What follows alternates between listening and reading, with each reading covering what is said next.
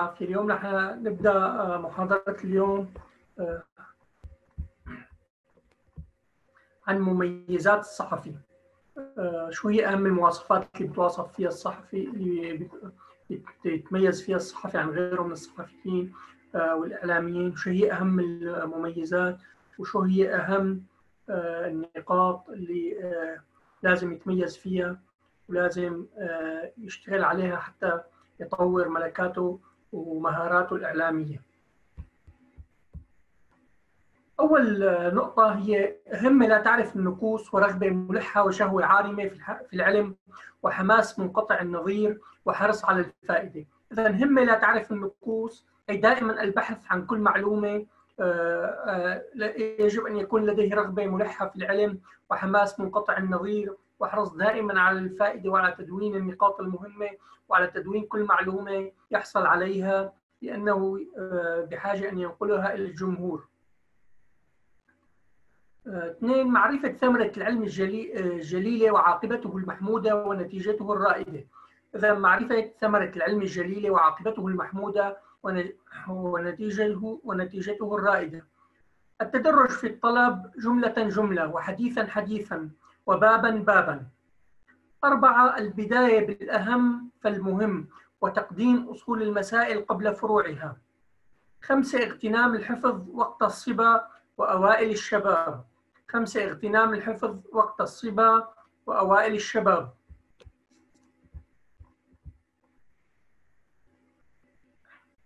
ستة لتخصيص ومعرفة الفن الجيد والتركيز عليه لتظهر الموهبة. إذا التخصص ومعرفة الفن الجيد والتركيز عليه لتظهر الموهبة الصحفية لدى الصحفي. سبعة تنويع أساليب الطلب من التلقي على الأساتذة وقراءة الكتب وسماع الدروس والتأمل والمذاكرة والمناظرة والبحث في الكتب وفي الإنترنت وفي أو على وسائل التواصل الاجتماعي عن كل معلومة جديدة وتدوينها وبالتالي الحفاظ على كل المعلومات الجديدة. التكرار مع ضبط المعلومة وتحقيق المسألة والرسوخ العلمي. إذن التكرار مع ضبط المعلومة وتحقيق المسألة والرسوخ العلمي. الاهتمام بالإبداع والابتكار ونبذ التقليد والمحاكاة. الاهتمام بالإبداع والابتكار ونبذ التقليد والمحاكاة. الطواف في الفنون الأخرى لأخذ فكرة مع جرد المطولات والنظر فيما جد مع العصر. إذا الطواف في الفنون الأخرى لأخذ فكرة مع جرد المطولات والنظر فيما جد مع العصر. الاهتمام بالتصنيف في فنه وتعليمه يعني إذا كان هو صحفي في الاقتصاد فلازم يهتم بالتصنيف في باب الاقتصاد. إذا كان هو صحفي بالفن لازم يهتم بالتبويب والتصنيف في باب الفن. إذا كان هو صحفي في الثقافة فيجب أن يهتم بالتبويب ومراجعة كل جديد في مجال الثقافة. إذا كان هو صحفي مؤرخ صحفي مهتم بالتاريخ فإذا يجب أن يبوب ويفند كل كل كل شيء جديد فيه من معلومات من معلومة تاريخية. إذا التصنيف الاهتمام بالتصنيف في فنه وتعليمه ومراجعته كل وقت. العمل بالعلم النافع فإن هذا بيت القصيد ورأس المال.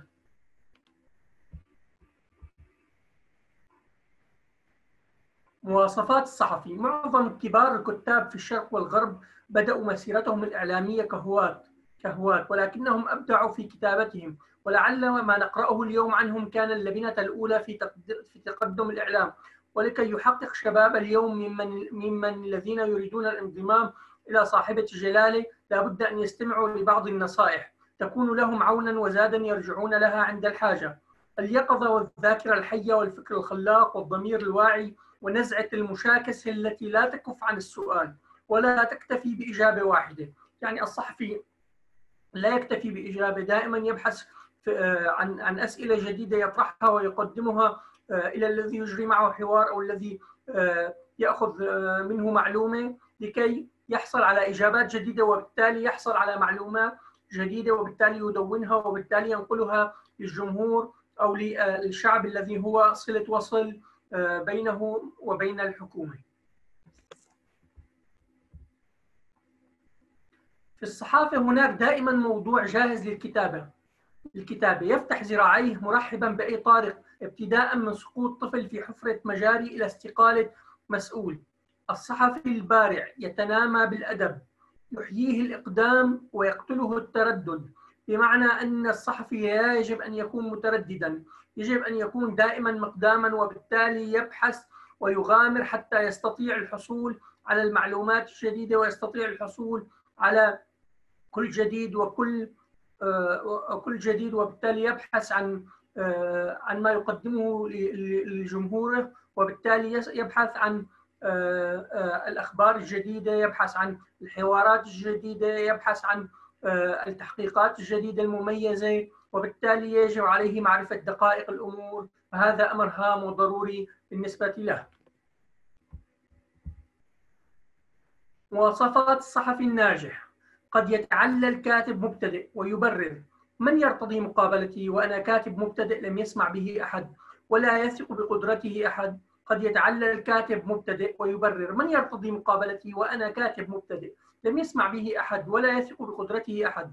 الجواب يحتمل الوجهين. فإذا كانت مقابلات الأثرياء والمشاهير والقادة وكبار السياسيين أو رجال الأعمال مقصورة على نفر معروف من الصحفيين فكيف يبدأ هؤلاء مهنتهم؟ لقد بدأوا المقابلات من أسفل السلم ثم ارتقت مهاراتهم بالصعود.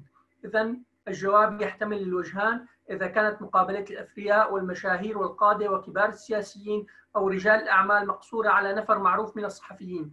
فكيف يبدأ هؤلاء مهنتهم؟ لقد بدأوا المقابلات من أسفل السلم ثم ارتفعت مهاراتهم بالصعود. من مزايا الصحفي الناجح قدرته على إجراء اللقاءات مع الناس وإدارته الحوار بلباقة وذكاء بمهارة وحذر. أدواته القلم والورقة وآلة التسجيل والكاميرا. أدواته القلم والورقة وآلة التسجيل والكاميرا. هذه الأدوات التي يمتلكها الصحفي تستطيع بالتالي أن يغير بها الفكر يستطيع بالتالي أن يوجه بها الجمهور يستطيع بالتالي أن يوصل أفكاره وأن تكون سلاحه آه الذي يستطيع سلاحه الذي يستطيع أن يخاطب به الجمهور وبالتالي أن يوصل الرسائل عبره وبالتالي أن أن يتبادل الأفكار وتكون الرسالة الإعلامية بين مرسل ومستقبل وأداة نقل الرسالة والتغذية الراجعة تكون يكون صداها صداها مؤثر وله وقع على الجمهور. اعرف نفسك واصنع بصمتك ومعنى ذلك أن تتعرف على مواهبك التي منحك الله فتوظفها في بابها سواء علما أو عملا أو مهنة فإن لكل مذهبا ومشربا صنوان وغير صنوان. إذا ومعنى ذلك أن تتعرف على مواهبك التي منحك الله إياها فتوظفها في بابها سواء عملا أو علما أو مهنة. فإن لكل مذهبا مشربا صنوان وغير صنوان. وقد علم كل أناس مشربهم ولكل وجهة هو موليها والناس أجناس.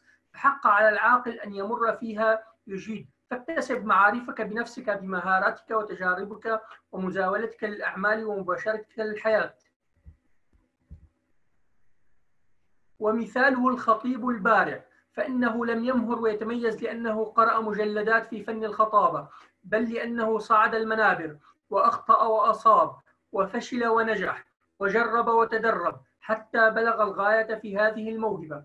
فإذا أردت البراعة في أي علم أو عمل أو موهبة فاغمس نفسك فيه وانصهر في معاناته واحترق بحبه وكن شغوفا به إلى درجة العشق وللناس فيما يعشقون مذاهب. وكما قال الشاعر وإنما رجل الدنيا ووحدها من لا يعول في الدنيا على من لا يعول في الدنيا على رجل.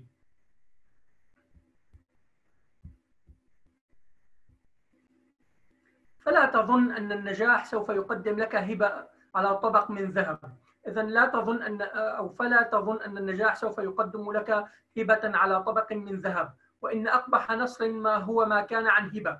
وأقبح النصر نصر الأغبياء فهم سوف فهم سوى فهم كم باعوا وكم كسبوا. لكن النجاح الغالي هو ما حصل بجهد وعرق ومشقة ودموع ودماء وسهر وتعب ونصب وتضحية وفداء. وكما قال أبو الطيب لولا المشقة ساد الناس كلهم الجود يفطر والإقدام قتال إذا كما قال أبو الطيب لولا المشقة ساد الناس كلهم الجود يفقر والإقدام قتال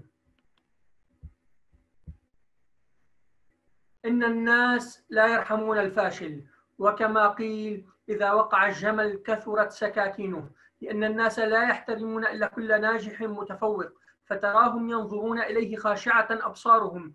إذا كنت عالما أو نابها أو غنيا أو مرموقا أو مصلحا أما البليد الغبي الفاشل الساقط فلا تلمحه العيون لأنها لا تراه أصلا. من يهن يسهل الهوان عليه ما لجرح بميت إيلام. من يهن يسهل الهوان عليه ما لجرح بميت إيلام. مميزات إضافية. طرح الأفكار الغير مستهلكة. الجرأة في طرح الموضوع.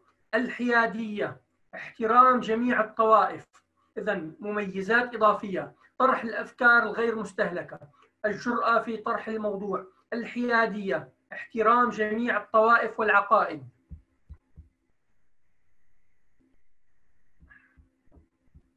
مميزات إضافية. يجب أن تتوافر بالصحفي.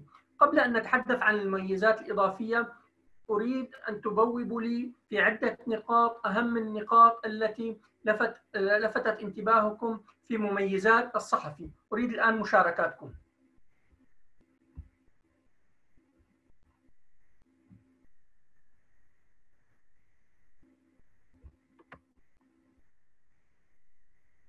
أنا بانتظار مشاركتكم الآن.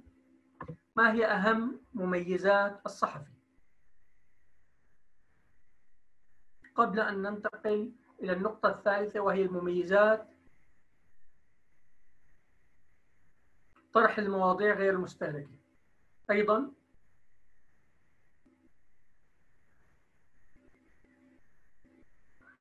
الجرأة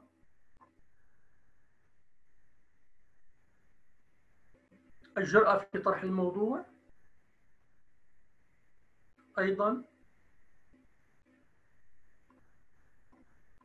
الحيادية عدم التردد. السرعة والمصداقية الحوار الابتكار. نبذ إجراء لقاءات مع الناس وإدارة الحوار. احترام الأديان الهجاء السليم الذي نفتقده كثيرا في الصحفيين اليوم. المهنية والموضوعية. أن آه، تتحدثون أنتم عن الأفكار اللي هي موجودة لديكم. أنا أريد أفكار قدمتها في المحاضرة الآن. مواصفات صحفي الهمة العالية اغتنام شبابه في الحفظ والعمل. مصطفى أحسنت يا مصطفى. التخصص اكتساب ثقافة واسعة وشمولية. البداية بالأهم ثم الأهم. حب البحث عن التفاصيل. الإبداع والابتكار اغتنام الحفظ وقت الصبا أحسنت يا إسراء اللباقة والذكاء. إتقان اللغة.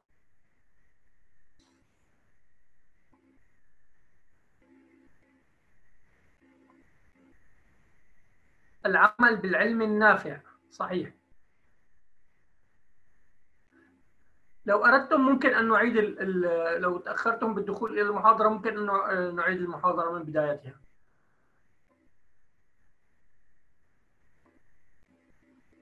هل بحاجة أن نكرر أم نتابع؟ القدرة على استخدام التقنيات آه، الحديثة محو الأمية التقنية. آه نتابع. في استخدام الأدوات. لكن آه، أنا تحدثت عن نزعة آه، نزعة المشاكسة لدى الصحفي. نزعة المشاكسة التي لا تكف عن السؤال ولا تكتفي بإجابة واحدة وتبحث دائما عن إجابات جديدة. هذه لم يذكرها أحد. الاهتمام في مجال واحد وعدم تشتيت جهوده. الفضول. صحيح. إذا آه، الكاريزما والنزق الفضولي اليقظة والذاكرة الحية والضمير الواعي ونزعة المشاكسة. صحيح. التمكن من اللغة والشجاعة والثقة بالنفس والتمكن من سرد الخبر أو القصة الخبرية بطريقة سلسة تجذب القارئ أو المستمع أو المشاهد.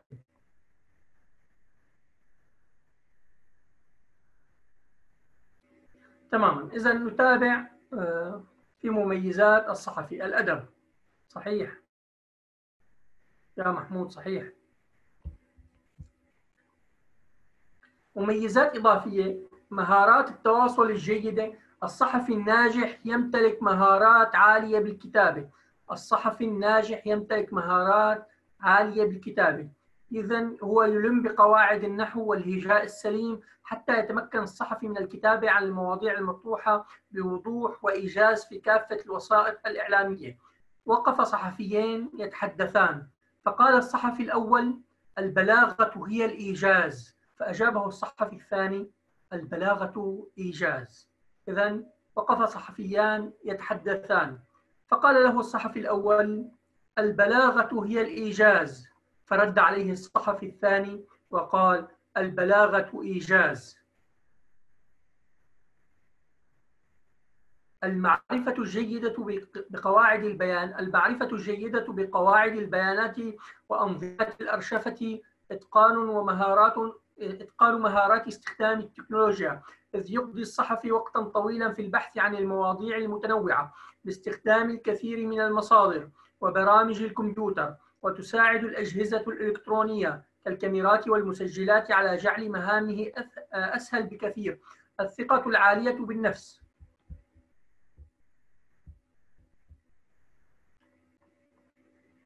النفسية عند إجراء المقابلات مع مختلف الأشخاص التفكير بسرعة النقد البناء توظيف المنطق. إن مهمة الصحفي ليست وظيفة فحسب رغم أن عمله كباقي الأعمال لكن ما يميز مهنة الصحافة أنها عمل غير مألوف بالإضافة إلى أنه عمل مثير ومشوق بذات الوقت. الصحفي الجيد يجب أن يكون فضولي وحب الاستطلاع لديه درجة عالية.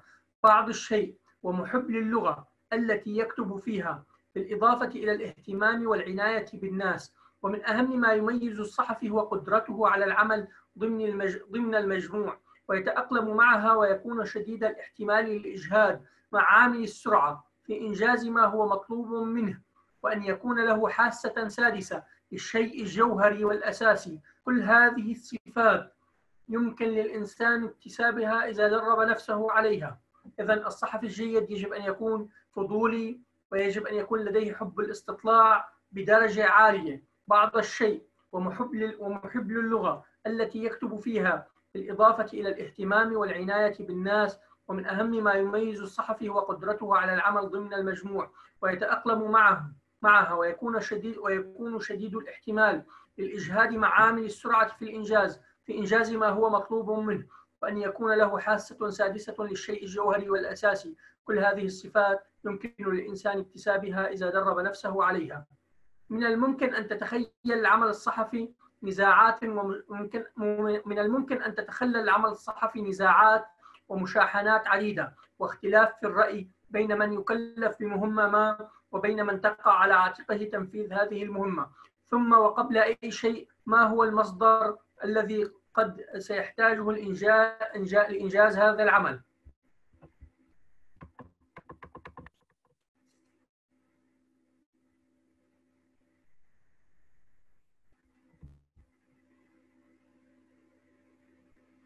أيضا من المميزات الإضافية تقع على عاتق الصحفي مسؤولية احترام القوانين والأنظمة وهذا لا يعني تحرر الصحفي من المسؤولية الشخصية تجاه ما يكتبه. إن الثقة بالصحفي وبعمله من أهم المقومات. إذا تقع على عاتق الصحافة مسؤولية احترام القوانين والأنظمة. وهذا لا يعني تحرر الصحفي من المسؤولية الشخصية تجاه ما يكتبه. إن الثقة بالصحفي وبعمله من أهم المقومات. إذا تقع على عاتق الصحفي مسؤولية احترام القوانين والأنظمة وهذا لا يعني تحرره من المسؤولية الشخصية تجاه ما يكتبه. إن الثقة بالصحفي وبعمله من أهم المقومات. مؤهلات الصحفي. أن يكون للصحفي خلفية سياسية واقتصادية وثقافية وتاريخية وافية. يجب أن يكون للصحفي خلفية سياسية واقتصادية وثقافية وتاريخية وافية. لكي يفهم بشكل عميق الشؤون المحلية الشؤون المحلية والدولية والتطورات الاقتصادية والسياسية داخل البلاد وخارجها. ينبغي أن يكون الصحفي واعيا وأن يفهم المغزى الاجتماعي لمهنته ومسؤوليته تجاه الجمهور الذي يوجه له كتاباته. كما يجب أن تتوافر لديه وجهة نظر واضحة إلى العالم وأن يفهم بشكل واضح حاجات ورغبات وآمال الناس. ينبغي أن تكون لديه الرغبة في قول الحقيقة وأن يكون لديه ما يكفي من الجدية. والحصانة التي تجعله ينفذ إلى الحقيقة والخوض, والخوض عميقا لقنص جوهر الأحداث وحقيقتها.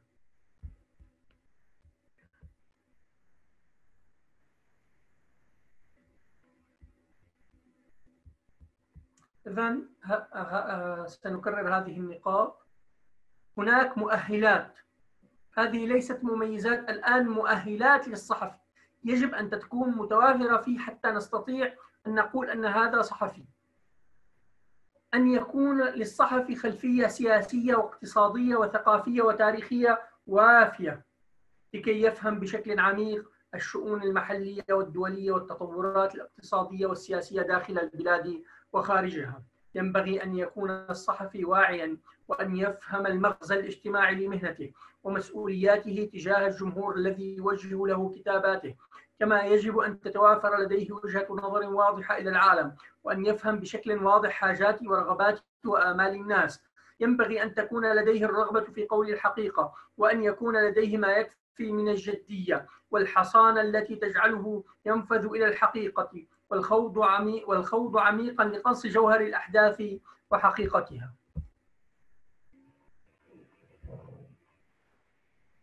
ينبغي أن يكون للصحفي الشجاعة الكافية لمناصرة الحقيقة والدفاع عنها حتى في الظروف الصعبة. إذا ينبغي أن يكون للصحفي الشجاعة الكافية لمناصرة الحقيقة والدفاع عنها حتى في الظروف الصعبة. يجب أن يتحلى الصحفي بالإحساس بالمسؤولية وبالدقة والعناية والصبر والابتعاد عن إصدار حكم قاطع قبل معرفة كل دخائل الأمر. كما ينبغي أن يكون له الشجاعة الكافية لإعادة تصحيح أخطائه حتى لو صعب عليه ذلك. يجب أن يتمتع الصحفي بقوة الملاحظة وقدرته على العمل بسرعة ودقة. يجب أن يتمتع الصحفي بالقدرة على الكتابة ببساطة وأسلوب طبيعي وأن تكون لديه ثروة غنية ووافرة من المفردات بالإضافة إلى معرفته بالأدب. أن معرفة اللغات الأجنبية أمر ضروري بالنسبة للصحفي فهو يزيد من ثروته الثقافية وتساعده أيضا في توسيع وتحسين نطاق عمله. إلى جانب هذه المواصفات الشخصية والإنسانية ثمة مميزات خاصة لا يمكن فصلها عن العمل الصحفي وهي أن يمتلك المخبر الصحفي المخبر الصح أن يمتلك المخبر الصحفي القدرة على تشخيص الأحداث ومعرفة أهمية التطورات الجارية داخل بلاده. أن تكون له القدرة على تشخيص الدلائل التي تقوده إلى اكتشاف الأخبار الهامة أي تشخيص الحقيقة ذات الأهمية الخاصة لدى القارئ. أن يكون المخبر قادرا على تشخيص الأخبار الأخرى التي قد تكون ذات علاقة بالمعلومات المعينة المتوفرة لديه.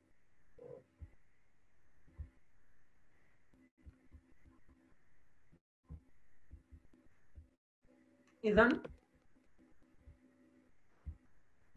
أن يمتلك المخبر الصحفي القدرة على تشخيص الأحداث ومعرفة أهمية التطورات الجارية داخل بلاده أن تكون له القدرة على تشخيص الدلائل التي تقوده إلى اكتشاف الأخبار الهامة أي تشخيص الحقيقة ذات الأهمية الخاصة. لدى القارئ أن يكون المخبر قادرا على تشخيص الأخبار الأخرى التي قد تكون ذات علاقة بالمعلومة بمعلومة معينة متوفرة لديه. اذا يستطيع لديه قدرة بالتالي على موضوع التحليل والترتيب تحليل الأفكار وترتيبها وربطها ببعضها وبالتالي الوصول إلى استنتاجات وخلاصات ونتائج وحل المسائل وحل المسائل والبحث في أصولها وفروعها.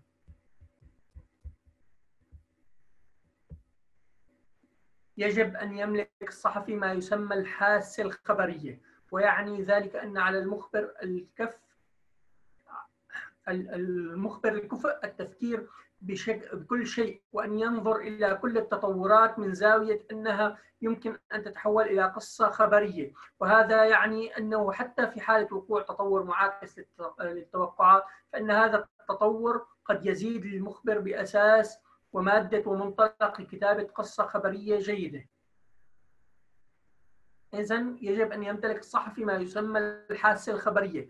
ويعني ذلك أن على المخبر الكفء التفكير بكل شيء وأن ينظر إلى كل التطورات من زاوية أنها يمكن أن تتحول إلى قصة خبرية وهذا يعني أنه في حتى في حال وقوع تطور معاكس للتوقعات فإن هذا التطور قد يزود يزود المخبر بأساس ومادة ومنطلق ومنطلق لكتابة قصة خبرية جديدة. آه، أفتح آه، الباب آه، مجددا للأسئلة إذا كان في هناك أي استفسار.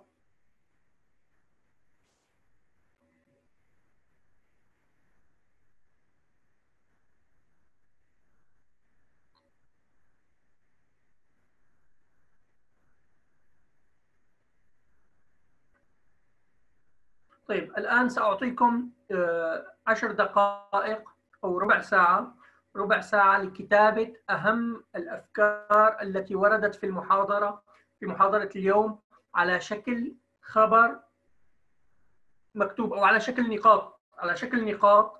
آه، بالإضافة لذلك أريد كتابة خبر عن آه، نشاطات فريق ملهم التطوعي. إذا أريد أمرين. الأمر الأول كتابة النقاط التي وردت. سأعطيكم ربع ساعة. كتابة النقاط التي وردت في المحاضرة إلى الآن. آه، ثلاثة اثنين كتابة خبر تطوعي عن فريق ملهم التطوعي سأترككم ربع ساعة.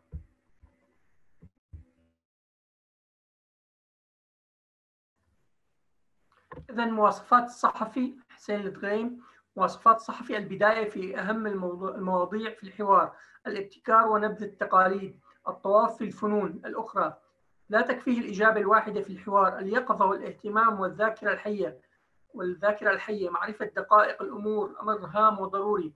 وللصحفي الناجح مواصفات أيضا هي قدرته على إجراء اللقاءات مع الناس وإدارته الحوار بلباقة وذكاء طرح الأفكار غير المستهلكة مهارات عالية في الكتابة لديه خبرة في استخدام التكنولوجيا وطرق الأرشفة حاسة سادسة للجوهر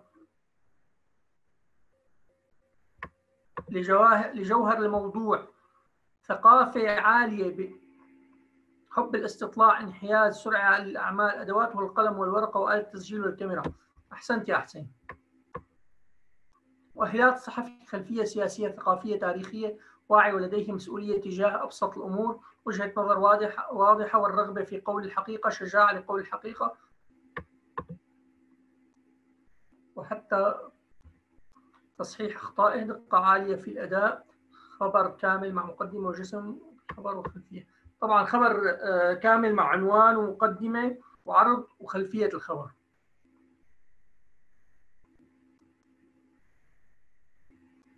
ميسون أحمد صالح لابد لتحقيق النجاح لأي صحفي من تحقيق بعض الأمور أهمها اليقظة والإقدام والبعد كل البعد عن التردد كما أنه يجب أن يكون قادرا على إجراء اللقاءات بلباقة وذكاء وثقة بنفسه. أهم داعي أهم داعي له وحياديته لها أهمية أيضا يجب آه، أهميته لها أهمية أيضا في نجاحه. ولا يخفى علينا أن الراحة النفسية والتفكير بسرعة من أساسيات نجاح وتقع على عاتقه مسؤولية احترام القوانين والأنظمة.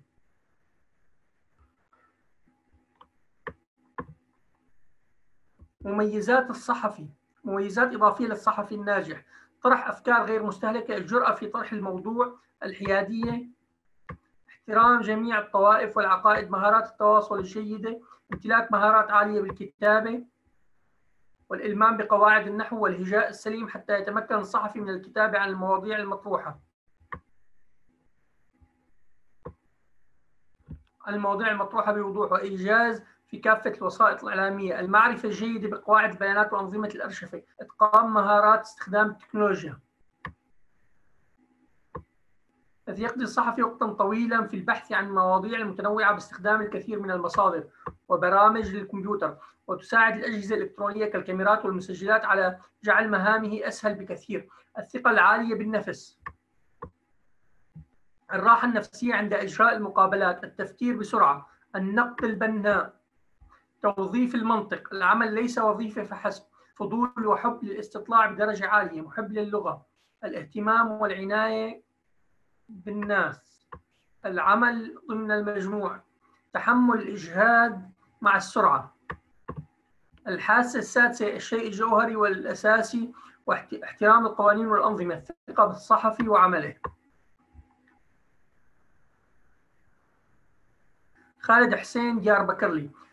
مواصفات الصحفي أن يكون لديه قضية ويسعى خلف الحقيقة ويحترم الطرف الآخر. ومحاولة الحصول على المعلومات الخاصة كما يجب أن يكون لديه آلية لأرشفة المعلومات وثقافة عالية ويحب ويحبذ أن يكون لديه أكثر من لغة يعرفها. مميزات الصحفي إسراء حسين. مميزات صحفي احترام القوانين والأنظمة الجرأة في طرح الأفكار الحيادية احترام جميع الطوائف مؤهلات الصحفي.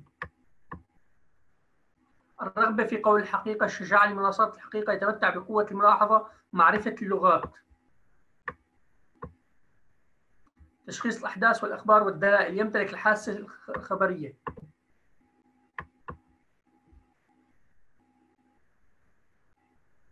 مروان من ضمن المحاضرات الخاصة بالبرنامج التدريبي الإعلامي الجديد للإعلامي الجديد في مشروع جامعة رشد.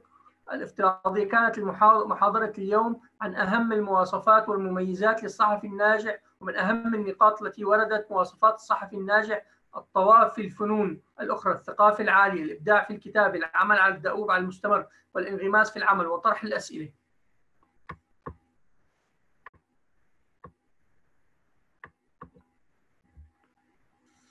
مع بداية فصل الصيف يطلق فريق ملهم التطوع العامل في الشمال السوري المحرر حملة آه، شوب لمساعدة الآلاف من العائلات آه، التي تسكن في الخيام وذلك بشراء مراوح لتخفيف من معاناتهم ومساعدتهم على تحمل الحر الشديد. سل يا مؤيد مؤيد مؤيد مشرق آه، الخبر شوي يعني بده إعادة صياغة. بدي خبر منكم الآن عن فريق ملهم التطوعي. اكتبوا لي خبر عن نشاطات فريق ملهم التطوعي. فريق ملهم ينشر الفرحة في مخيمات اللاجئين.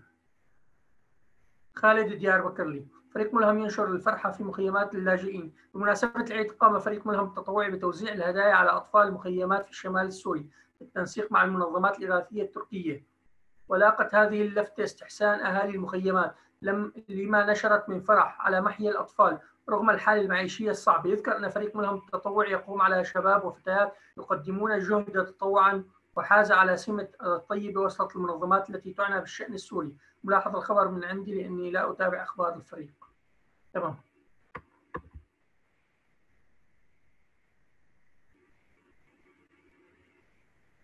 أه، بدي مشاركة البقايا. بقايا الطلاب المشاركين معنا. في الدورة التدريبية.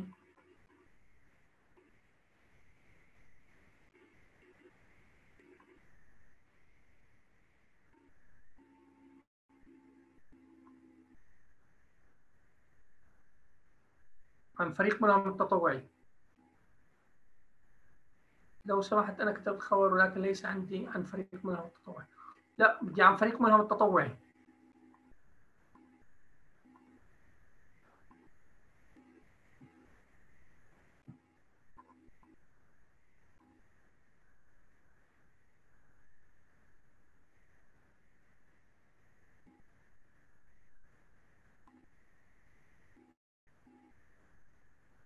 خبر عن فريق ملهم التطوع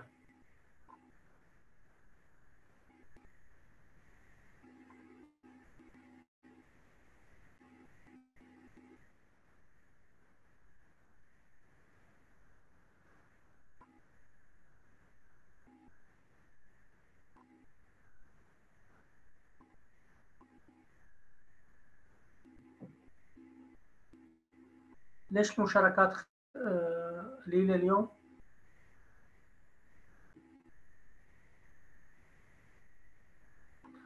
سؤال يا بتول تفضل.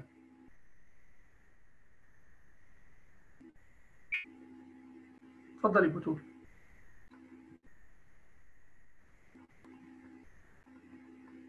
الفريق تطوعي في سوريا فقط؟ لا الفريق بأكثر من من دولة بالعالم آه، له آه، متطوعين.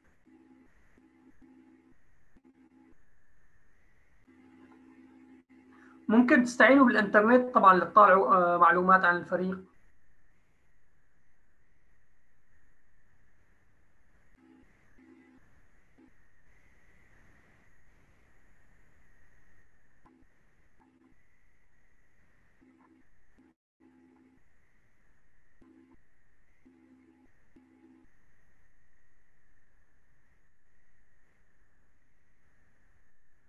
تحت مالك مالك موسى تحت شعار كن عونا لهم يعلن فريق ملهم التطوعي عن حملة لجمع التبرعات للأطفال الأيتام والمهجرين في مخيمات النزوح. خبر من صياغتي ما بعرف عن الفريق. طيب ممكن تستعينوا بالإنترنت. ميزات صحفي إنه ممكن يستعين بالإنترنت ليطالع معلومة عم يبحث عنها. صح؟ أنتم صحافة ملكة موسى. أهلا وسهلا يا ملكة.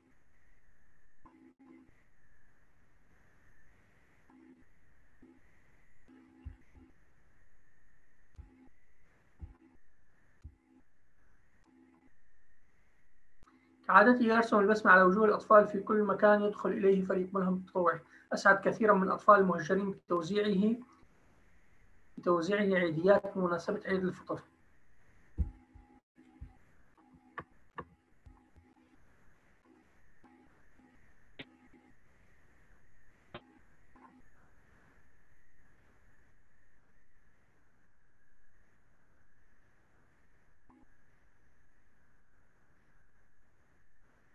طيب هلا إذا بدنا نبحث نحن عن خبر آه، بفريق ملهم التطوعي. بنفوت على جوجل.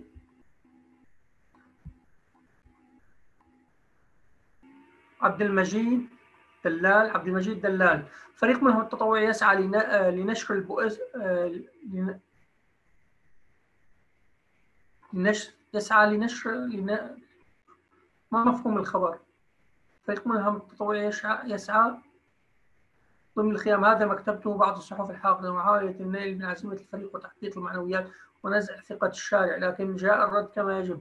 خروج مئات الأشخاص من بعد آه، بعد عدة دول بمسيرات مؤيدة للفريق ودعمه الاستمرار بعطائه الذي لا يكاد أن ينبض أهم عطاءات لا فريق ملهم التطوعي فريق ملهم التطوعي قام فريق ملهم التطوعي بجولة ميدانية اليوم الأربعاء الموافق ل 4 يوليو 2020 على تجمعات مخيمات أطمي ضمن الحملة التوعوية ضد جائحة كورونا وتوضيح المخاطر من انتشاره بين السكان وقام بتوزيع بعض المواد التعقيمية على بعض النازحين.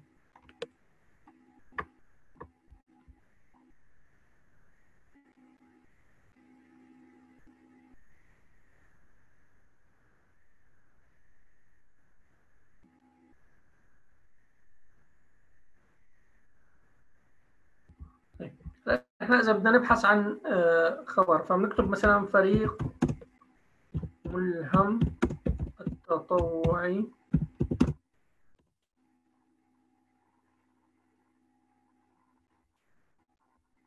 طلعنا.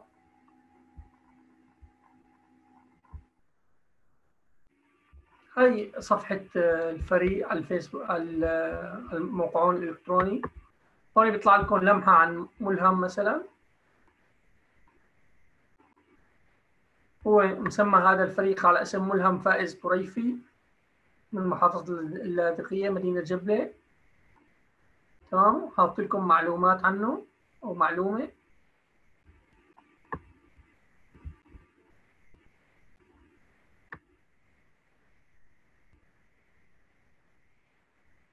دراسته حائز على شهادة جامعية في إدارة الأعمال من الأكاديمية العربية للعلوم والتكنولوجيا والنقل البحري اللاذقية ملهم كان يضحك كما تعلم الضحك يكون رفيقة للأبد.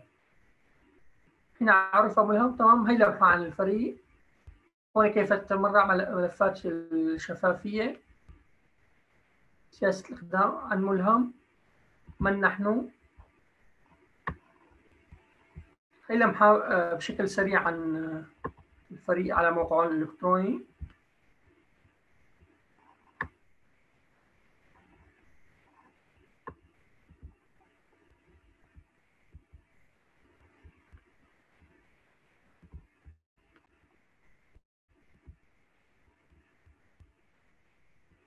هي آخر الأخبار؟ هون بتشوفوا آخر أخبار الفريق. مثلا لو بدنا نبحث عن آه، خبر ثاني بدنا نبحث عن خبر يخص تركيا. أنا قلت لكم كيف طريقة البحث على محرك البحث آه، جوجل. على Google Chrome.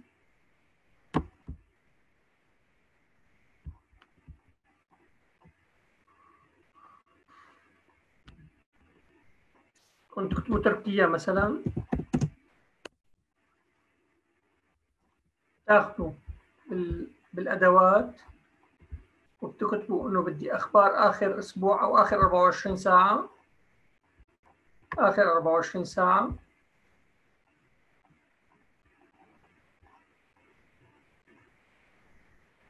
في حين يدعو لمقاطعة تركيا تمام هون طلعت لكم كل الأخبار.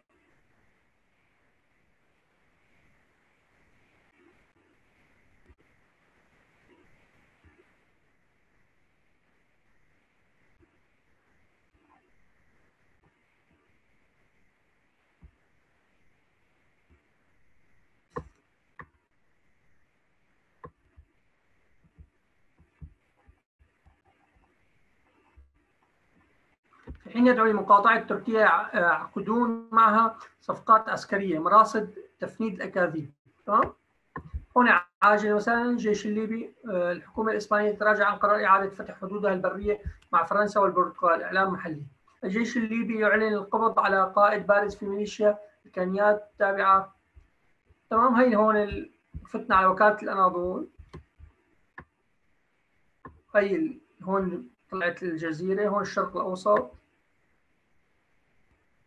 تمام لو بدنا خبر مثلا عن سوريا نكتب سوريا. أعطاني أهم الأخبار خلال آخر 24 ساعة.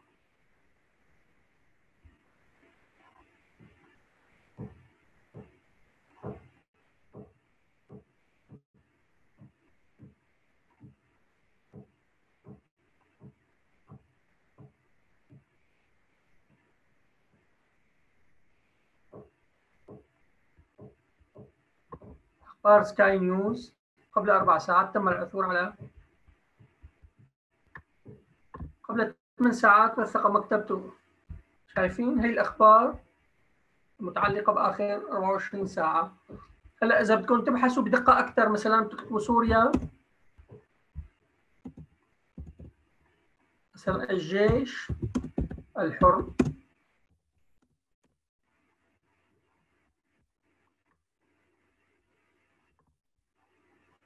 ما في معلومات في أو معلومة بهذا الموضوع. سوريا مثلا دمشق أو تركيا إسطنبول أو تركيا مثلا.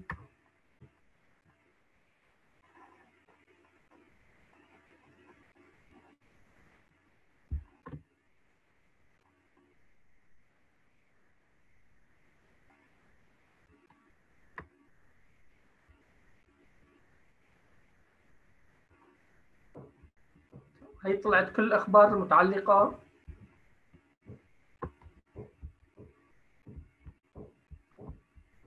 بسوريا إذا كنا عم نحكي أنه يجب أن يمتلك المخبر الصحفي القدرة على تشخيص الأحداث ومعرفة أهمية التطورات الجارية داخل بلاده.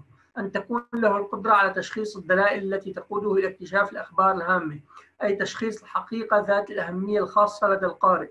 أن يكون المخبر قادرا على تشخيص الأخبار الأخرى التي قد تكون ذات علاقة بالمعلومة بالمعلومة المعينة المتوفرة لديه.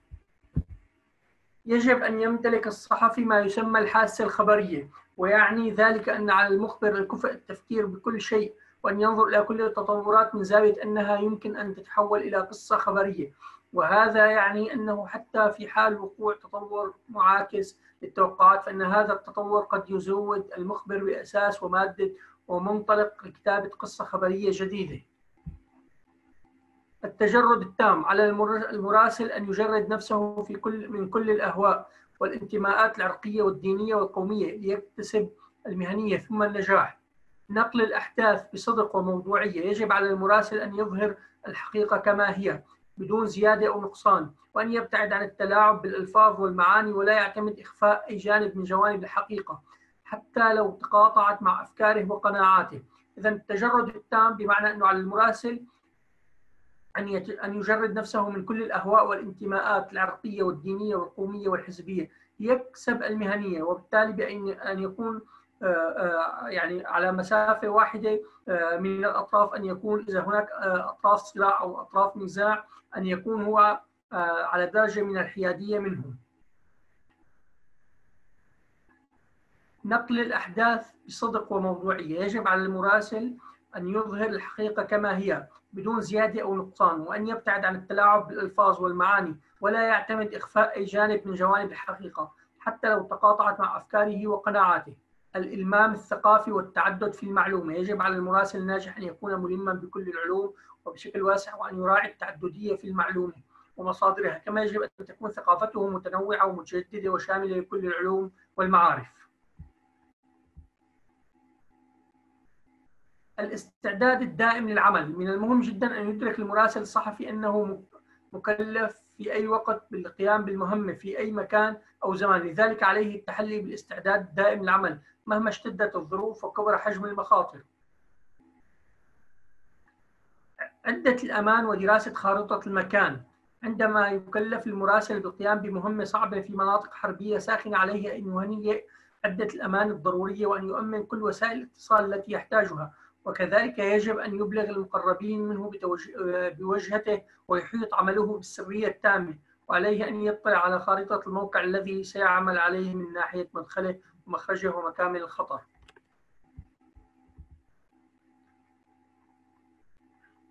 شبكة الأصدقاء والزملاء في مكان العمل. من المهم جدا أن يشكل المراسل شبكة من الأصدقاء والزملاء في بيئة في بيئته المهمة المكلفة بالعمل. عليها للمساعدة عند الحاجة. التخصص في مجال المراسلة الصحفية. لا يوجد شيء اسمه تخصص. المراسل الصحفي في موضوع معين بل يجب أن يكون عمله المراسل شاملا لكل المواضيع من دون التقيد بموضوع معين أو تخصص محدد. الشجاعة والصدق والأمانة من أهم المعايير التي يجب أن يتحلى بها المراسل لأنه على تماس مباشر مع الحدث ولذلك يعتبر مسؤولا عن الحقيقة أمام الرأي العام. إذا شبكة الأصدقاء والزملاء في مكان العمل. هذه نقطة مهمة جدا ويجب الانتباه لها من المهم جدا أن يشارك المراسل شبكة من الأصدقاء والزملاء في بيئة في بيئته المهمة المكلف بالعمل عليها للمساعدة عند الحاجة. التخصص في مجال المراسلة الصحفية. لا يوجد شيء اسمه تخصص في المراسل الصحفي في موضوع معين بل يجب أن يكون عمل المراسل شاملا. بعكس الصحفي المتخصص الصحفي يكون متخصصا أما المراسل فيكون شاملا لكل المواضيع بمعنى أنه يعرف شيء عن كل شيء ويعرف كل شيء عن شيء. إذا يعرف شيء عن كل شيء ويعرف كل شيء عن شيء. الشجاعة والصدق والأمانة من أهم المعايير التي يجب أن يتحلى بها المراسل لأنه على تماس مباشر مع مع الحدث. ولذلك يعتبر مسؤولا عن الحقيقة أمام الرأي العام. يجب أن يتمتع بأسلوب المناورة والتفاوض أي يجب أن يكون المراسل ناجحا ذكيا مناورا مفاوضا جيدا حتى يستطيع الوصول إلى الحقيقة الكاملة بدون تأخير أو حرج أو مأزق أو خطر. إذا يجب أن يستطيع المناورة والتفاوض يجب أن يكون المراسل الناجح ذكيا ومناورا ومفاوضا جيدا حتى يستطيع الوصول إلى الحقيقة الكاملة بدون تأخير أو حرج أو مأزق أو خطر. اعتماد مصادر دقيقة ومتجددة. على المراسل أن يعتمد مصادر دقيقة ويحافظ على سرديتها وأن يفتح قنوات مصادر ج... يفتح قنوات مصادر جديدة كلما استجدت الظروف والأحداث. فالاعتماد على مصادر دقيقة ونزيهة ستجعل المراسل مصدرا للمعلومة الموثوقة بها لدى الجمهور التواصل الاجتماعي من الضروري جدا أن يتمتع المراسل الناجح بحضور اجتماعي وأن يكون مقبولا لدى الآخرين. حتى يتمكن من إنجاز عمله بدون معوقات ويضمن تفاعل الجمهور مع مادته الإعلامية. إذا آه، أريد الآن منكم آه، القسم الثاني من المحاضرة آه، أن أن تلخصوها على شكل نقاط. الأفكار التي استشفيتوها أو التي استخلصتوها من من القسم الثاني من المحاضرة أنتم عم تكتبوا لي لساتكم أخبار فريق ملهم التطوعي. تمام الآن بدنا الأفكار تبع القسم الثاني المحاضره بانتظار مشاركتكم بأهم النقاط التي وردت في القسم الثاني الآن من المحاضرة. عم يوصل الصوت لعندكم؟ صوت هل يصل الصوت إليكم؟ عم يوصل الصوت لعندكم؟ طيب رح افتح رح افتح لكم المايك. لو في أسئلة بتحبوا اللي بده آه، يشارك آه، يطلب إنه آه، المايك لاعطيه المايك يسأل. الصوت واضح. تمام يا سلام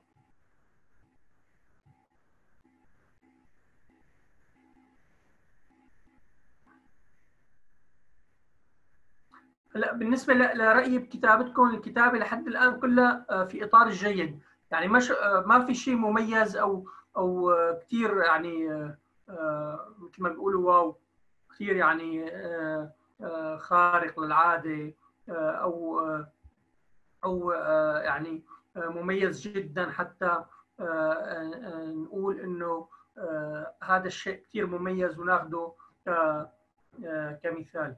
لكن الأمر آه، يتعلق ب آه، بإمكانية استمراركم على موضوع القراءة وإمكانية استخلاص المعلومات والمفردات الجيدة وبالتالي تطوير مهاراتكم الكتابية. مواصفات صحفي التجارة التام من الأهواء العرقية شبكة الأصدقاء في مكان العمل التخصص في مجال المراسلة الصحفية آه، لا قلنا بمجال المراسل المراسل يجب أن يكون شاملا. بعكس الصحفي المحرر الذي يكون يجب أن يكون المحرر الخبري الذي يجب أن يكون مختصا. الشجاعة والصدق والأمان الاعتماد على مصادر الدقة والتواصل الاجتماعي صحيح. بدي مداخلة لو سمحت. طيب أوكي.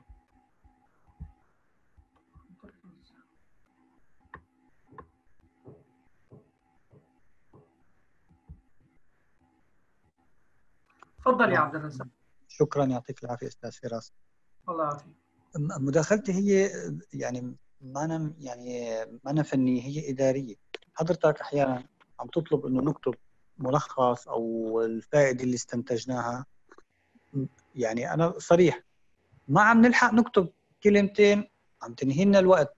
ما عم نلحق نجمع أفكارنا آه، ونكتب سواء على الموبايل أو على اللابتوب ما عم نلحق نكتب. فنحن بنتمنى أنا بالنسبة لي وأظن إنه بعض الزملاء أو الغالبية هيك عم بصير معهم. عم تقول لنا حضرتك اكتبوا ملخص أو كذا. صدقا أنا ما بكون لسه كتبت كملت السطر عم تقول لنا يلا هاتوا. أقل ما يمكن إنه تمنحنا فترة مؤقتة عشر دقائق آه، أكثر أقل لكن نقدر نجمع أفكارنا ونكتبها. اما شو عم بصير؟ حضرتك عم تقول لنا أعطونا ملخص. أنا يا دوبني عم كمل السطر ما بكون كملته. أوكي انتهينا. أو مو بمعنى انتهينا إنه يلا قدموا فما عم بصير فرصة. لا عم نجمع أفكارنا ولا عم نلحق نكتب ولا عم بصير هالشيء هذا. فبنتمنى إذا في إمكانية يعني نتعاون على هالنقطة هاي بكون كثير ممنونة. أعطيكم وقت أكثر ما شغلت أكثر آه، اللي لاحظته أنا خلال المحاضرات الماضية مثل ما قلت لحضرتك اكتبوا ملخص لسه ما عم نكون نلحق نكمل الفكرة. هو هذا عصف ذهني يعني ممكن تكتب أنت فكرة أو فكرتين أو ثلاثة وغيرك يكمل الثلاث افكار الثانية هذا القصد من إنه أكتبه يعني مو مو القصد إنك أنت تحيط بكل النقاط أو كل الأفكار اللي وردت. آه، بس تشوف شو أهم الأفكار اللي هي علقت بذهنك حتى آه، نثبت باقي النقاط من من زملائك. يعني هذا المقصود كان بالعصف الذهني. تمام. شكرا. أنا كنت فهمان على غير المقصود. شكرا لك. آه، لا هلا بالنسبة حامنحكم كمان وقت أكبر. يعني شكرا لملاحظتك. رح أمنحكم وقت أكثر يا اخ عبد الرزاق ويبدو إنه يعني ملاحظتك محقة أكيد. اذا سأمنحكم وقت إضافي بالنسبة لتدوين النقاط. يبدو إنه محقق الأخ عبد الرزاق بهي النقطة إنه ممكن الوقت لو كان أكبر. يمكن أنه يكون المجال أوسع للمناقشة وللبحث. اذا رح أعطيكم هلأ استراحة ربع ساعة أو ثلث ساعة ثلث ساعة كاملة بحيث أنه بتكتبوا لنا خبر عن أهم أهم ما لفت نظركم في أخبار اليوم. يعني أهم خبر لفت نظركم ممكن تكتبوه وتعيدوا صياغته ومعكم ثلث ساعة كاملة. لصياغه هذا الخبر أترككم ثلث ساعة. الان حنشوف الأخبار اللي اخترتوها وكتبتوها. آه، الوقت كان كافي. كان الوقت كافي اللي أخذتوه.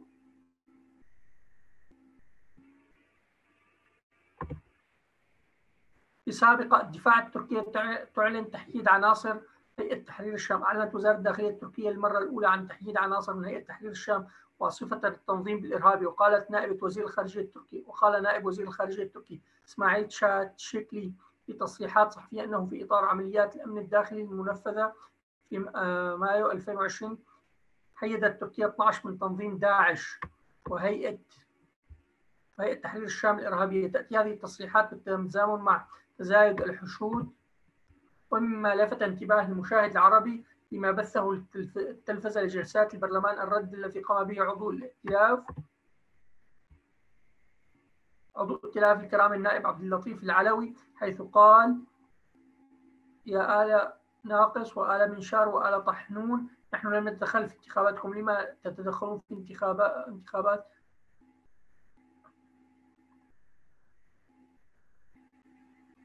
أجمل انتخابات أجمل ماعز.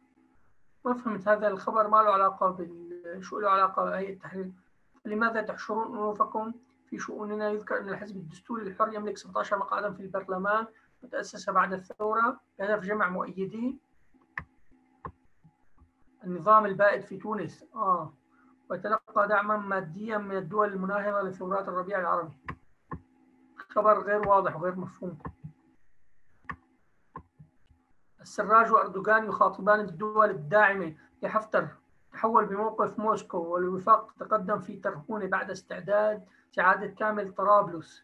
في قوات حكومة الوفاق الليبية المعترف بها دوليا تطرد قوات حفتر من محيط طرابلس في زيادة هي الأولى له في زيارة زيارة هي الأولى له اليوم. فهي السراج يصل إلى تركيا ويعقد مؤتمرا صحفيا مع الرئيس التركي رجب طيب أردوغان.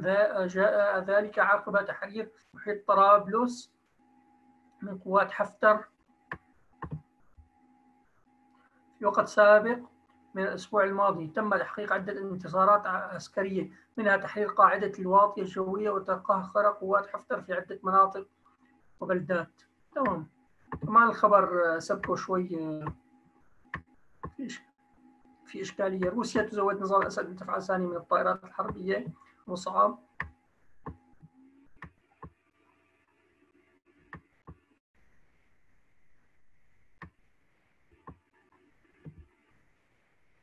برلمان تونس يسقط مسودة مشروع مساءلة الغنوشي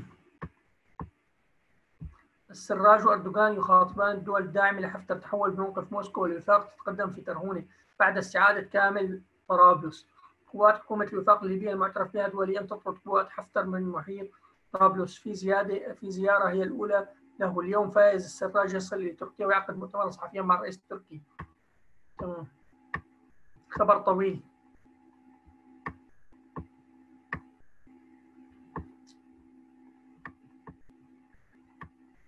عم تستسهلوا موضوع كتابة الخبر. عم تستسهلوا موضوع كتابة الخبر. رح ناخذ خبر من اللي كاتبينه أنتم ونشوف كيف بنعيد تحريره. حنحرره مع بعض.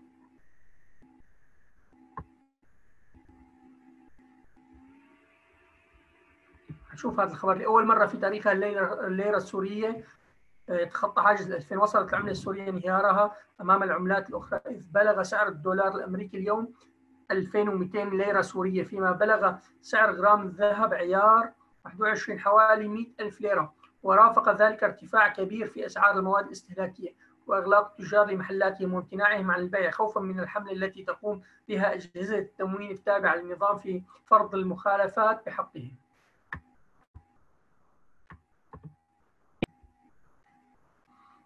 في مواجهتها لفيروس كورونا قطر تقدم مساعدات طبية ل 20 دولة ومساهمات مالية تقدر ب 140 مليون دولار. أكد أمير قطر الشيخ تميم بن حمد أن بلاده قدمت مساعدات طبية لأكثر من 20 دولة.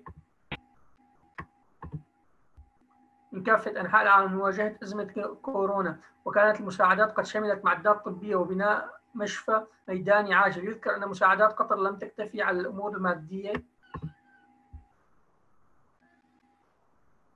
وحسب لكنها كانت قطر سباقة بتقديم ما يقدر من 140 مليون دولار داعمة بذلك تلك الدول الفقيرة لمواجهة كورونا وجاء كلام أمير قطر هذا خلال كلمته في مؤتمر اللقاحات العالمي المقام في لندن وبشاركة العديد من رؤساء الدول والبلدان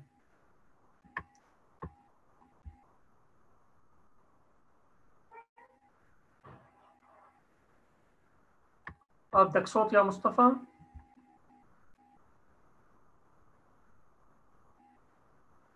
أستاذ سؤال أنت بتقرأ الأخبار بشكل عشوائي أم أن الرسائل التي يرسلها الشباب لا تصل إلينا جميعا؟ وجدت بعض الأخبار التي قرأتها والكثير منها لم أجدها. يعني أنا عم بقرأ الرسائل اللي عم توصلني قرأت بالترتيب بظن.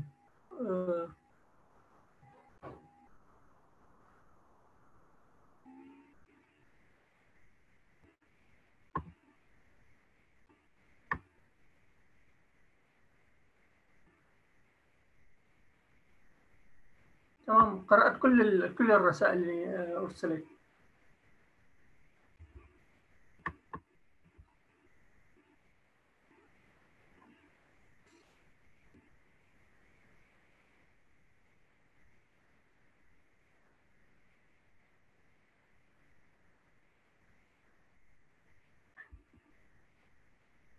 طيب تعيد إرسال الرسالة لو سمحت.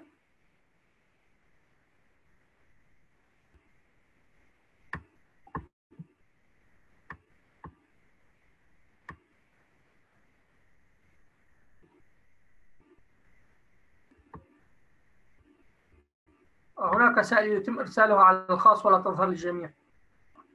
حتى عندي ما عم تظهر. الدولار يسبق التاريخ في سوريا. يبحث السوريين في صباح كل يوم جديد عن أسعار الدولار الأمريكي والعملات الأجنبية. مقابل الليره السوريه وبلغ سعر صرف الدولار في سوريا في الساعات الأخيرة من يوم الخميس الموافق الرابع من حزيران مقابل الليره السوريه 2150 ليرة في دمشق و2120 ليرة في حلب. وازداد البحث بشكل مكثف في الأيام الأخيرة بعد تعرض الليرة السورية لحالة من الذبذبة التي أثرت على السوق المحلي في سوريا سواء في المناطق المحررة أو في مناطق النظام بسبب الأوضاع الاقتصادية والأمنية التي تعرض لها. سوريا مع ظروف جائحة كورونا كوفيد 19 التي أثرت بقوة على الاقتصاد العالمي والأحداث الأخيرة التي تمر بها الولايات المتحدة الأمريكية.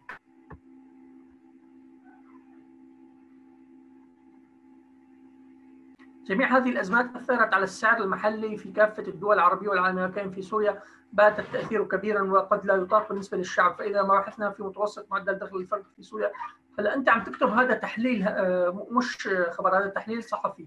نحن عم نحكي عن خبر صحفي بمعنى أنك أنت بتنقل المعلومة. ما بتخوض بتفاصيل المعلومة وما وراء هذه المعلومة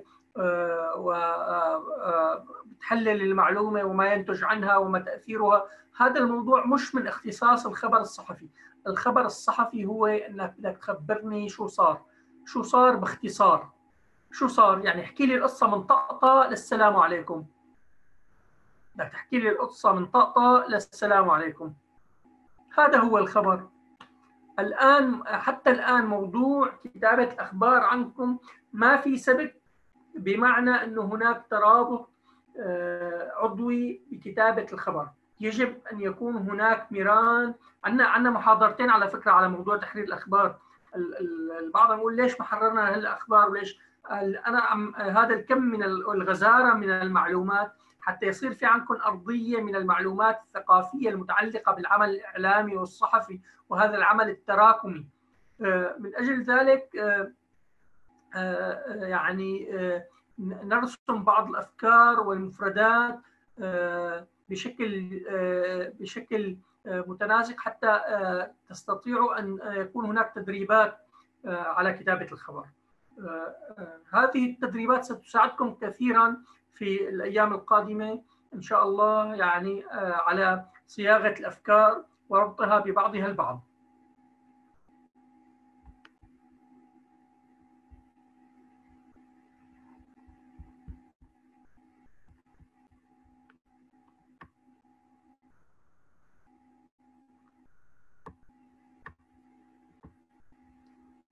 في أخبار قريت عم ترجعوا تبعتوا لي إياها.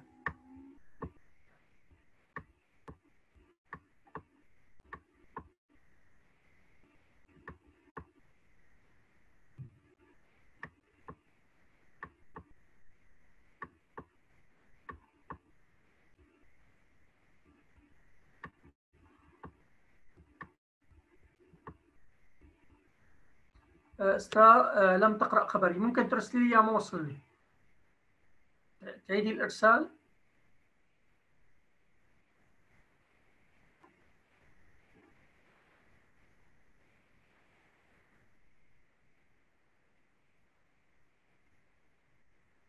تعيدي إرسال الخبر يا اسراء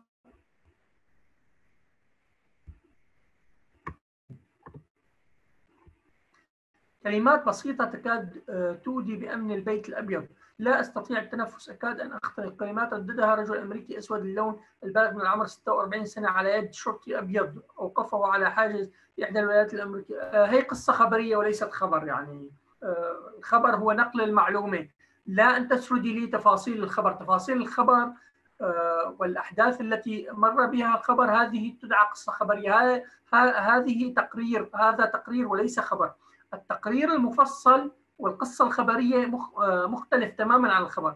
الخبر هو الإجابة يعني سأعطيكم تعريف آخر للخبر هو الإجابة على الأسئلة الستة. ماذا حصل؟ متى حصل؟ أو ماذا حدث؟ متى حدث؟ أين؟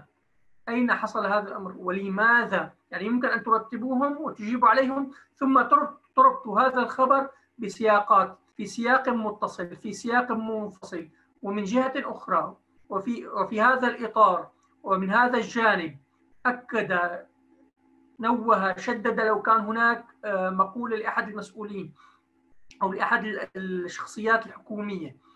آه، لابد أن يكون هناك آه، لابد أن يكون هناك ترابط بين هذه الأفكار. ثم يتم ختام هذا الخبر بأن نضع له خاتمة بيذكر أن معلومة يتم ربطها بالخبر. معلومة لم يتم ذكرها ذكرها خلال الخبر أن تذكر خلال هذا الخبر.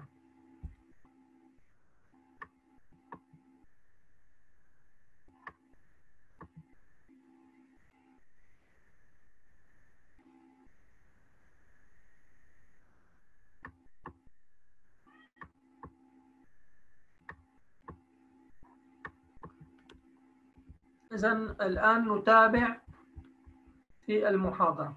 المناورة والتفاوض. يجب أن يكون المراسل الناجح ذكيا مناورا مفاوضا جيدا حتى يستطيع الوصول للحقيقة الكاملة بدون تأخير أو حرج أو مأزق أو خطر. اعتماد مصادر دقيقة ومتجددة على المراسل الناجح أن يعتمد مصادر دقيقة ويحافظ على سريتها. وأن يفتح قنوات مصادر جديدة. كلما استجدت الظروف والأحداث فالاعتماد على مصدر دقيق ونزيه ستجعل المراسل مصدرا للمعلومة الموثوق بها لدى الجمهور. التواصل الاجتماعي من الضرورة جدا أن يتمتع المراسل الناجح بحضور اجتماعي وأن يكون مقبولا لدى الآخرين حتى يتمكن من إنجاز عمله بدون معوقات ويضمن تفاعل الجمهور مع مادته الإعلامية.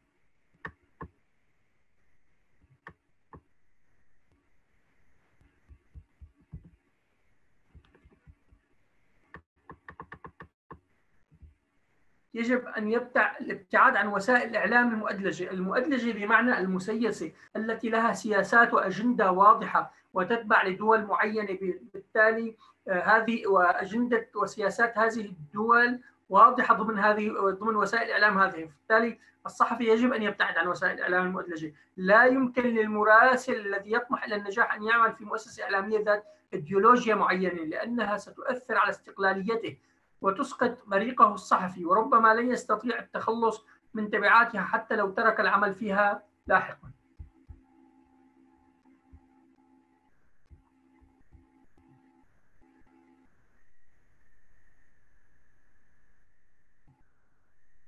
وهل يوجد إعلام غير مؤدلج؟ يعني آه، هناك آه، آه، على درجة من الحيادية أو على آه، آه، هناك يتمتع بمصداقية ما آه، أو بدرجة من الحرية. أكثر من اعلام من من باقي من باقي يعني مؤسسات إعلامية يعني مسيسة. وهناك مؤسسات إعلامية مشتركة تكون. ليست يعني بين مثلا قطاع خاص وقطاع حكومي أو أو الصحفي لديه حرية المناورة فيها بشكل أكبر.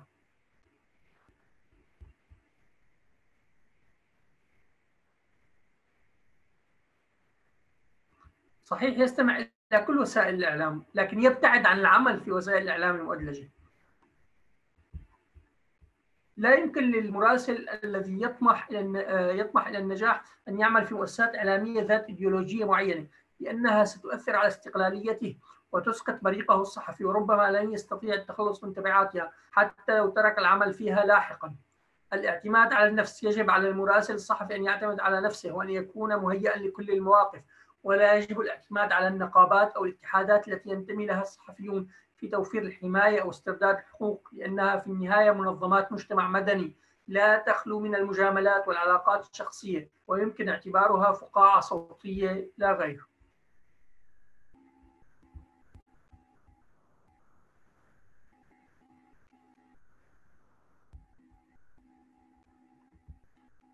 المصابين والأحداث أثبتت أن لا إعلام غير مؤدلج. آه، طبعا الاعلام يعني آه، قلنا الإعلام المؤدلج هو الإعلام المسيس يعني الذي يتبع لسياسات وأجندة دول معينة وبالتالي مرتبط بسياسة معينة. هناك إعلام يعني يكون له لديه مساحة من الحرية أكبر من من يعني وسائل الإعلام عندها مساحة حرية أكبر من وسائل الإعلام أخرى.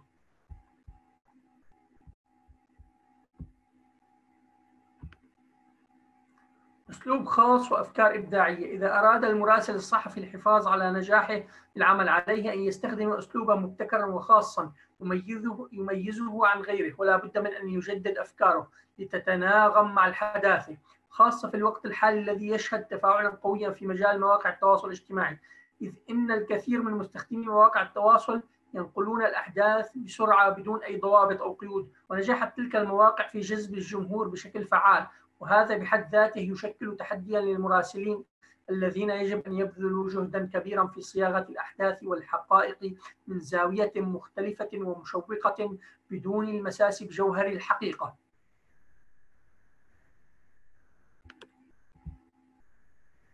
تحديات ومعوقات. رغبات المجتمع وأهواؤه إن معظم المجتمعات وفي بعض القضايا تريد من المرسل مغالطة الحقائق والأحداث وعدم إظهار جانب الحقيقة الخفي الذي يناقض أهواءهم أو يكشف عن حقائق تتضارب مع رغباتهم ومصالحهم وربما معتقداتهم ومتبنياتهم. ولذلك غالبا ما يتهم المراسل الصادق والمهني بعدم المهنية أو يتعرض للنقد وربما التهديد أو التصفية الجسدية الأجهزة الأمنية في بعض المناطق العرقية.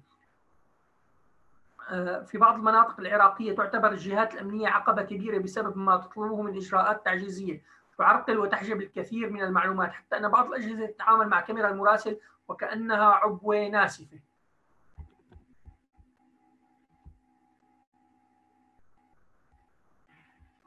هل يكفي, آه، يكفي الاعتماد على النفس فقط آه، بالحفاظ على الحقوق؟ ما فائدة النقابات والاتحادات الصحفية؟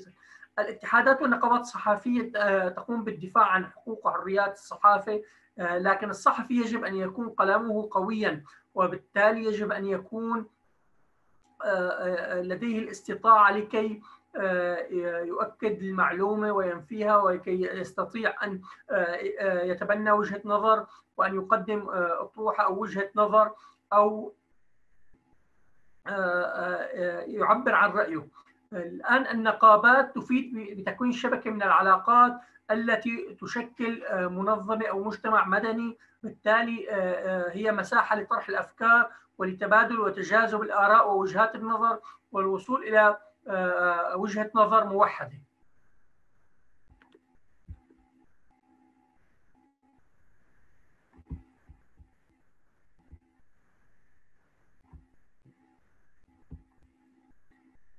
أهمية وجود تشريعات وطنية رصينة توفر للصحفيين الحماية الضرورية وتتيح لهم حق الحصول على المعلومات والوصول إليها بدون عناء أو مشقة ومخاطر. إذا أهمية وجود تشريعات وطنية رصينة توفر للصحفيين الحماية الضرورية وتتيح لهم حق الحصول على المعلومات والوصول إليه بدون عناء أو مشقة ومخاطر. آه الآن بدي منكم تكتبوا لي عشر نقاط من المحاضرة هي. عشر نقاط مرتبين. عشر نقاط مرتبين.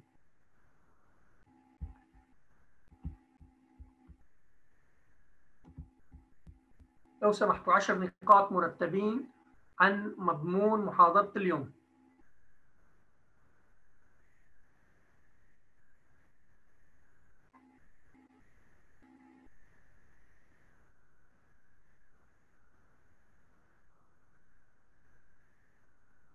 بدي عشر نقاط مرتبين عن مضمون محاضرة اليوم.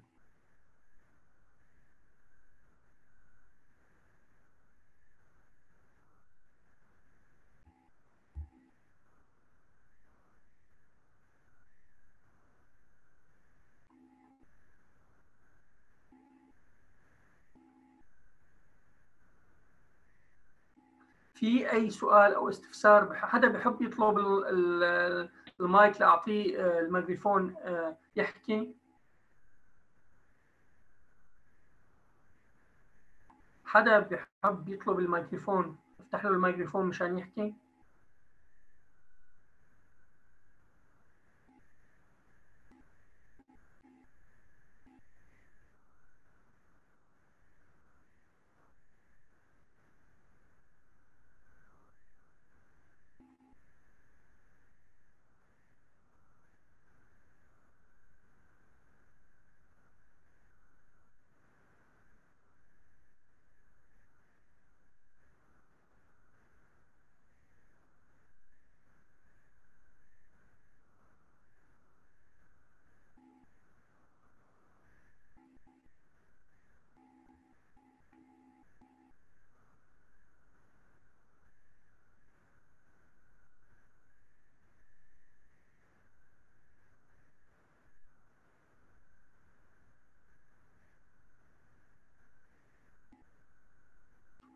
في أي استفسار أو سؤال.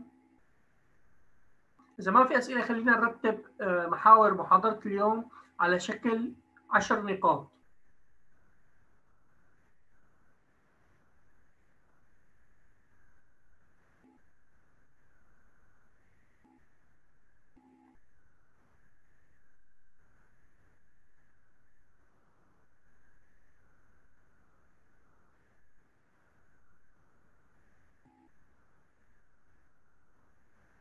طيب آه، يبدو إنه عشر نقاط كتار عليكم.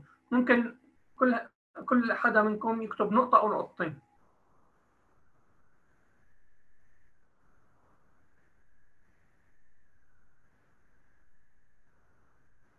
ممكن كل حدا يكتب نقطة أو نقطتين.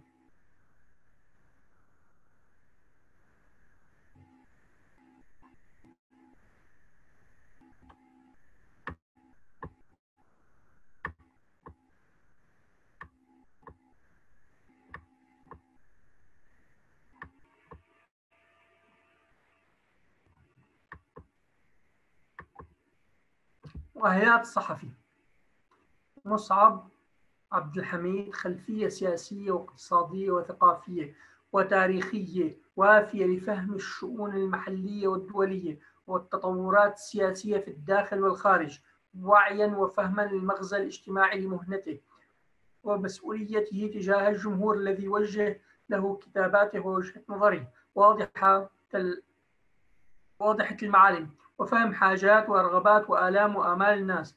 الرغبة في قول الحقيقة وما يكفي من الجدية والحصانة والخوض عميقا لقنص جوهر الأحداث. الشجاعة الكافية لمناصرة الحقيقة والدفاع عنها حتى في الظروف الصعبة. التحلي بالإحساس بالمسؤولية والدقة والعناية والصبر والابتعاد عن إصدار حكم قاطع. قوة الملاحظة والقدرة على العمل بسرعة ودقة. الكتابة ببساطة وأسلوب طبيعي وثروة غنية ووافية بالمفردات. والمعرفة بالأدب معرفة اللغات الأجنبية. على الصحفي أن يتجنب العمل في الصحافة المؤدلجة. عليه أن يشكل مصد... عليه أن يشكل مصادره وينوعها. على الصحفي أن وينوعها. على الصحفي يجيب أن يجيب في خبره على الأسئلة الستة. ميزات الصحفي احترام القوانين والأنظمة الجرأة في طرح الأفكار الحيادية. احترام جميع الطوائف مؤهلات الصحفي الرغبة في قول الحقيقة الشجاعة المناصرة الحقيقة يتمتع بقوة الملاحظة معرفة اللغات تشخيص الأحداث والأخبار والدلائل. يمتلك الحاسة الخبرية الحاسة الخبرية آه، مواصفات الصحفي التجرد التام من الأهواء العرقية. آه، راما أن يكون واعي وفاهم للمغزى الاجتماعي قوة الملاحظة. أحمد مواصفات الصحفي الناجح همة لا تعرف النقوص ورغبة ملحة معرفة ثمرة العلم الجلية التدرج في الطلب جملة جملة. البداية بالأهم ثم المهم الإلمام بالتقنيات الحديثة. الفضول الاهتمام والعناية بالناس الحاسة الخبرية المعرفة بالنفس. مؤهلات صحفي الدقة والموضوعية تجرد الجانب الإنساني الخلفية المتعددة الثقة بالنفس. يكون ذو ثقافة سياسية واقتصادية وسياسية للمنطقة التي يعمل بها ومحيط وفي محيطها. الفضول الاهتمام بالنفس عنده ثقة بالنفس. يا نور شو الفرق بين الاهتمام بالنفس وعنده ثقة بالنفس. معناتها أنت فعليا ما ذكرت لنا غير الفضول وأنه عنده ثقة بنفسه. نور مؤذن. كان لازم تكوني مركزة معنا أكثر من هيك.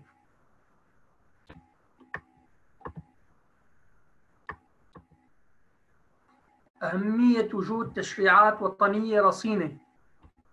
عبد الرزاق أحمد. أنس تجنب العمل في مؤسسات صحافة المؤدلجة أو الدخول في مؤسسات يستطيع فيها إيجاد هوامش يستطيع من خلالها خدمة الرسالة العامة العمل الصحفي. القدرة على التواصل الاجتماعي. آه نور مؤذن يجب أن يكون شجاع. صحيح.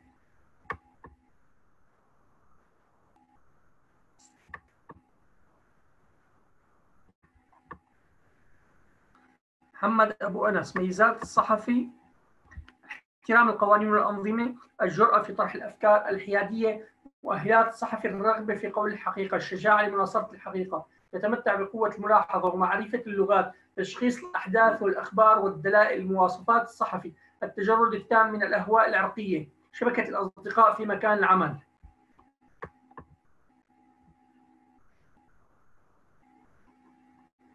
الشجاعة والصدق الأماني أن يكون الصحفي متمكنا من اللغة ولديه مخزون جيد من المفردات وأن يكون شجاعا ولديه ثقة بالنفس والتمكن من سرد الخبر أو القصة الخبرية. لا القصة الخبرية ما ما حكينا عنها. فقط والخبر لا يسرد الخبر يكتب تمام؟ أو ينقل.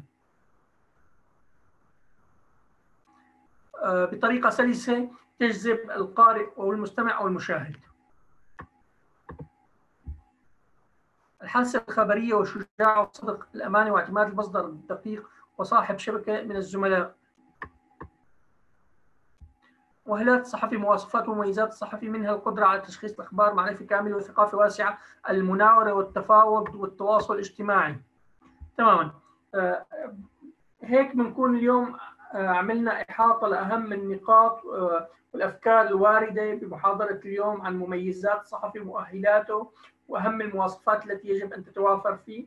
آه، شكرا لحسن استماعكم. إذا في أي سؤال أو حدا بيحب يعمل مداخله على الميكروفون أنا ممكن أتلقى آه، مداخلته.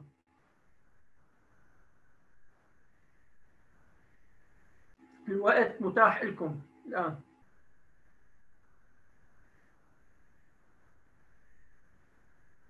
في أي استفسار أو مداخلة؟ كانت المحاضرة واضحة في شيء ما ما فهم من المحاضرة؟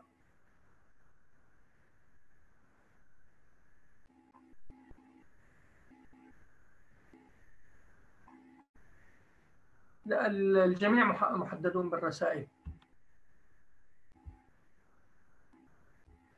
الرسائل تعمل للجميع. آه، حسين بدك المايك. طيب أوكي.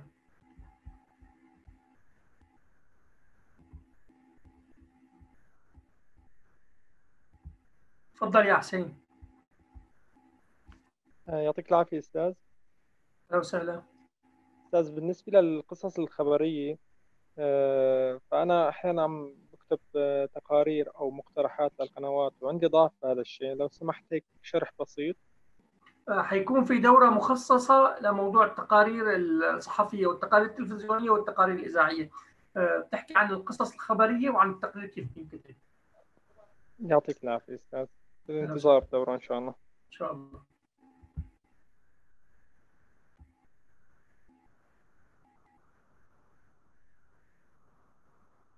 في أي حدا عنده استفسار ثاني حدا بده المايك؟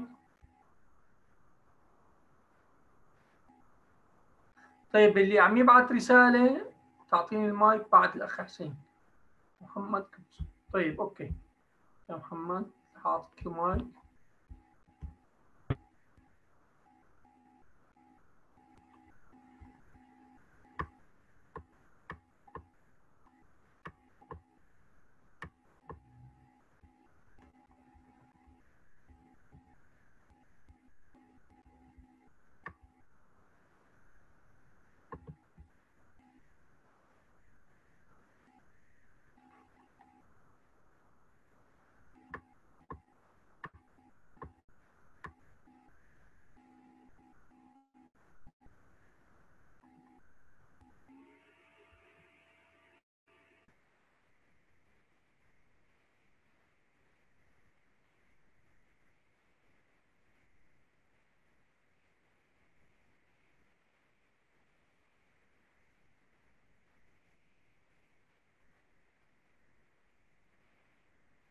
رح اعطيك المايك يا محمد بس لحظة عم عم دور على اسمك وين موجود مشان افتح لك المايك.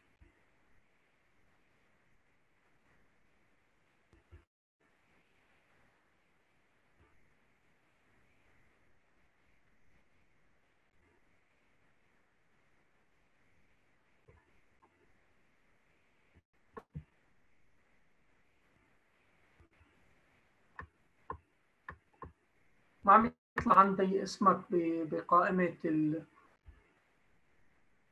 قائمة القائمة اللي فيها الميكروفونات ما عم يطلع اسمك.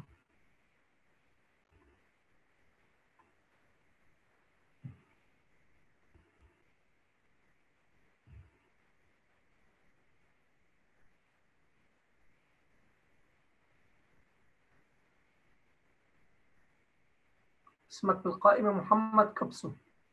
بس ما عم يطلع هون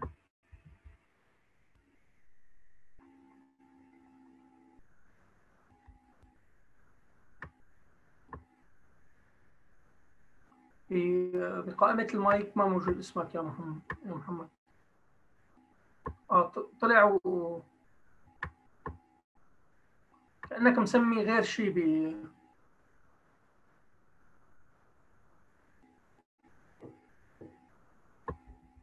طيب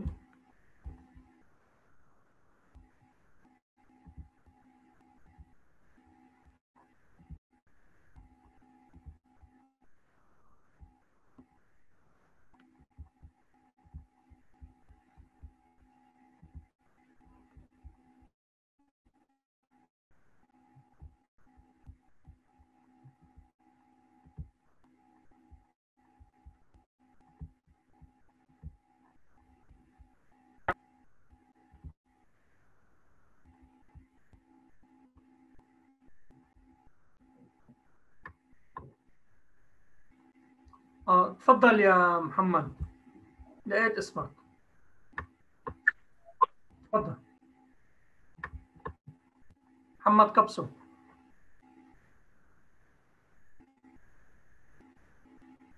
يا أهلا و... يا أهلا هنا آه، فيكي متاخره ما في مشكلة.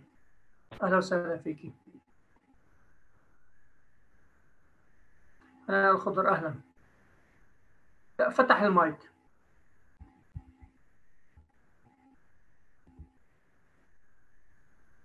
السلام عليكم. وعليكم السلام. أهلا يا محمد. الله يعطيك العافية أستاذ. أستاذ الكريم في في حقل الشات اللي عم نبعث عليه مشاركاتنا المربع اللي بنكتب فيه رسالة فوقه في خيار ممكن الطلاب الشباب الاخوه معنا يختاروك أنت بس فأنت ضمن الحقل تظهر رسالة عندك بس عنا ما عم تظهر لما تقرأ ونحاول ندور على النص تقرأه فعم نضيع ما بنركز في قراءتك. فبس لو تنبه الشباب إنه يحطوا الخيار everyone لل يعني مو من عندك من عند الشباب. آه عجبتك يا شباب لو تحطوا الخيار everyone لل لموضوع آه الأخبار اللي عم تحطوها شكرا لك أستاذ. بس لأنه إحنا عم تخربط أثناء بتقرأ نص ندور عليه ما بنلاقيه فما بنكون مركزين بالنص لأني عم ندور وين عم تقرأ. يا أهلا وسهلا. شكرا لك شكرا لملاحظتك.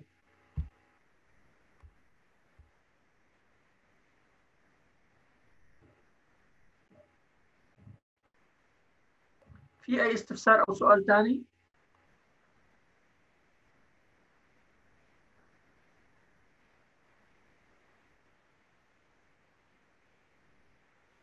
في أي استفسار أو سؤال ثاني؟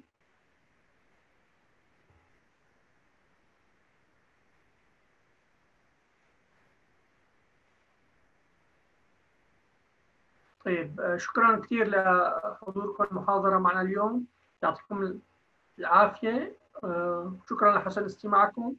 آه، إن شاء الله موعدنا بمحاضرة بكرة إن شاء الله بتدريبات عملية. الله يعطيكم العافية وشكرا لمشاركتكم. شكرا ل يعني التفاعل السريع اللي كان اليوم بالمحاضرة من طرفكم.